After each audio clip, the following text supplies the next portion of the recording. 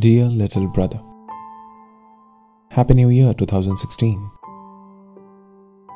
This letter I would not give you today. The last year has been rough for all of us. I still remember the time when we discovered about your cancer.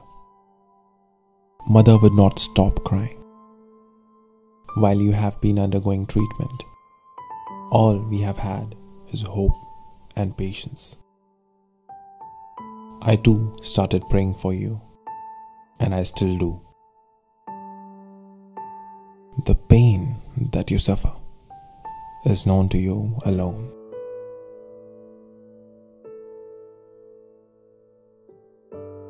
You are fighting bravely indeed. I'm so proud of you.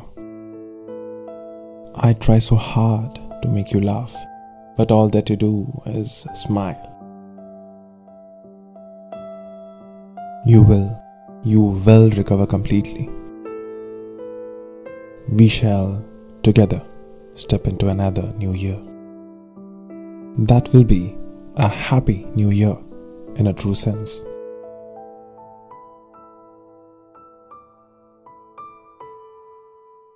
And then I shall give you a new year letter.